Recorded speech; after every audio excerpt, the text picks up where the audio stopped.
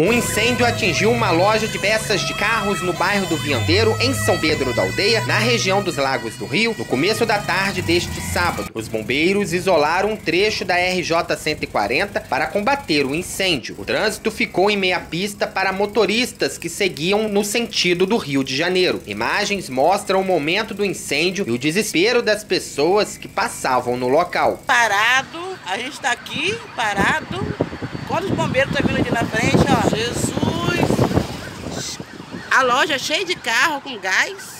Meu tá Deus explodindo do céu, tudo. Explodindo. Meu Deus do céu.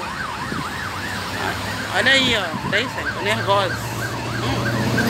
De acordo com o Corpo de Bombeiros, o incêndio aconteceu em uma loja de peças de carros na RJ 140, em São Pedro da Aldeia.